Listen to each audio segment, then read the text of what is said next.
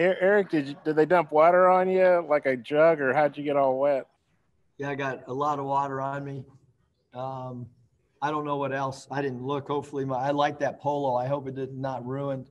They probably didn't order another Kids Youth XL for me, so I hope. I'm praying that that there was no Gatorade on that doggone thing. Um, and then um, you, you guys outscored them 27 to three on free throws. How, how big was that? Well, I, you know, it was really important for us. I mean, we felt like, you know, attacking the rim was was was something that we really wanted to do. Um, we didn't want to settle. We didn't want to jack up threes. We didn't want quick shots. Um, I thought we did a good job of understanding the shot clock for the most part. Um, you know, to my knowledge, we only took two shots that that, that maybe I was not happy with. Um, we had a great, you know, a great few days of preparation as well. Um, just proud of, of the execution on both sides of the ball. I thought, you know, defensively, this team is just so hard to, to try to stop and, um, you know, to hold them to, to 66 points is, is, is not easy. And um, it, it was a 46 point turnaround from the last game. I mean, what that had to feel good. Yeah, we stunk last game. Um, you know, but you know, you got to bounce back, and I thought we bounced back. And and uh, look, that's a it's hard. You, you play the sixth ranked team in the country and you beat them. Um, so it's a heck of a win for the program. I can I can tell you that. I got one more if I could before I turn back to Mike. I know you don't like to call timeouts. You must have said something pretty good uh, there to go on a 17 to 2 run. What, was the message? And and uh, obviously the guys responded. I, you know, I think the biggest message was just, hey, look, they made a run. We knew they were going to make a run, and don't feel sorry, you know, for ourselves. We've got to get back to what we worked on the last few days, which is defend the three, run them off the three point line. When they dribble, drive, get there quickly, try to take a charge or clog the lane, and then get into our scramble defense. Um, and and you know attack the basket and and and be strong with the ball and two foot jump stop and finish at the rim or or go to the free throw line. Curtis.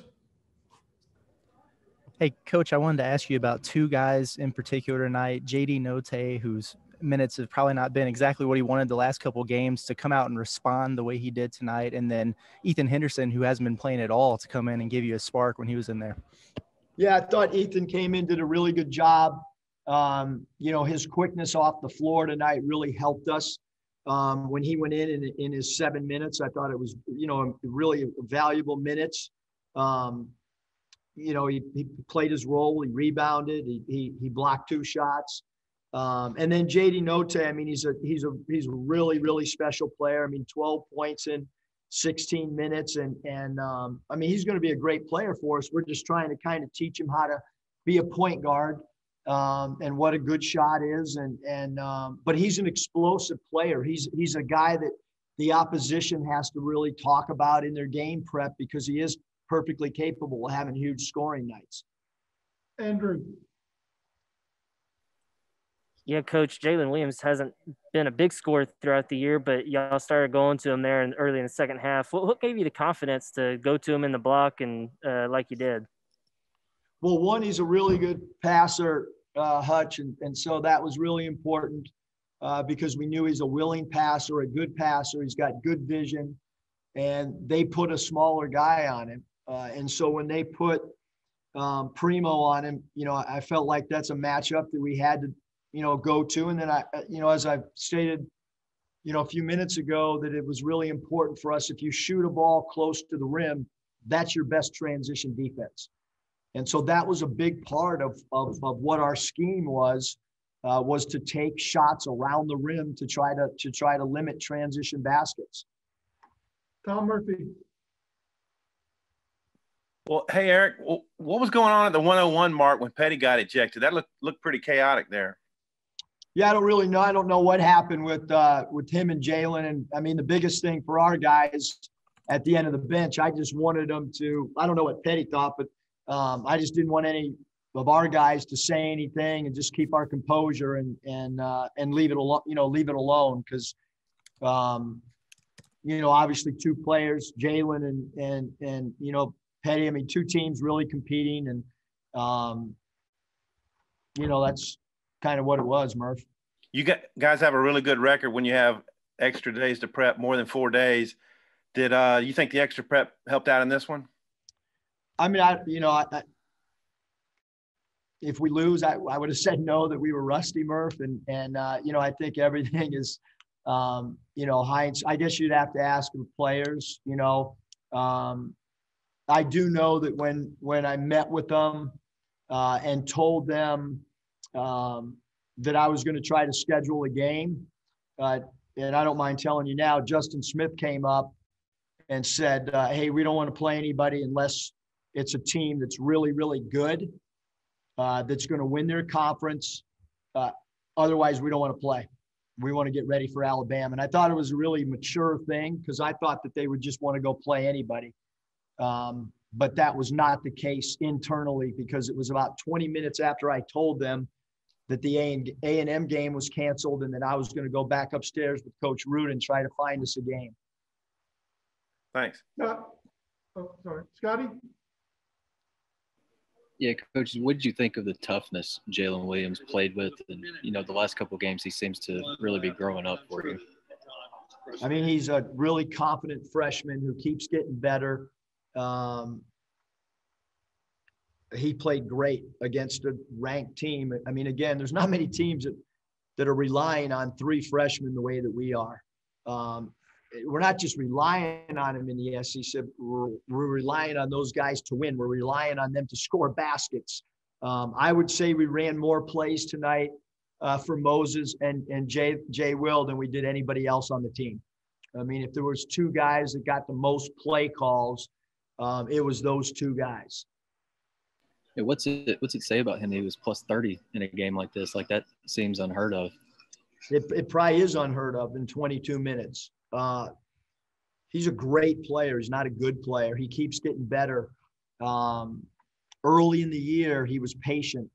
Um, you know, I'm sure internally he was getting anxious to play more, but he kept working on his game. Um, he knows two positions. Obviously, moving forward, he's going to have to play a lot of four for us as we look into you know into into the future. Um, and he will because he's a worker his ball handling.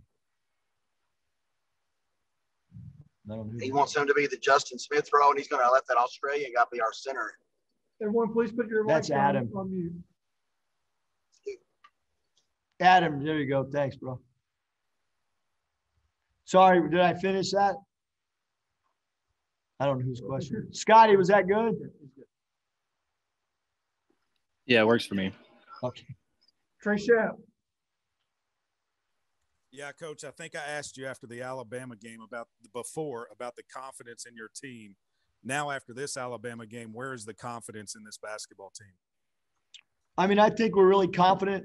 Trey, we know, you know, we know we have a great LSU team coming in here. Um, you know, we've won a couple games now against ranked teams, uh, which is really, really important.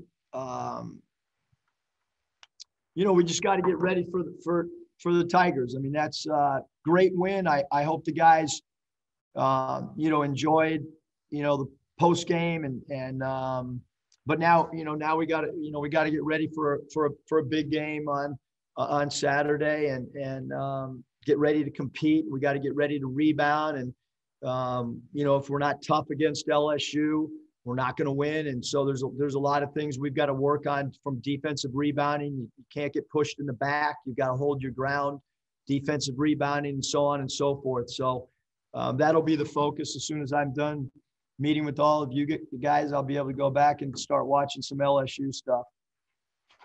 Randy. Eric, 18 of 28, 64% points in the paint. What was the difference tonight then compared to uh, the first game against Alabama, which the numbers weren't quite so good? And then talk about the adjustment that you made on Bruner in the second half, who really put Alabama in the game in the first half. Yeah, I mean, all of Bruner's shots and, and all of Reese's shots and, and, and the two that Gary took So that was nine from Bruner. It was five from Reese and two from number four, Gary. Those are all on me. Not one player was at fault for one three ball that was made from those three guys. And then in the second half, we did change our defense.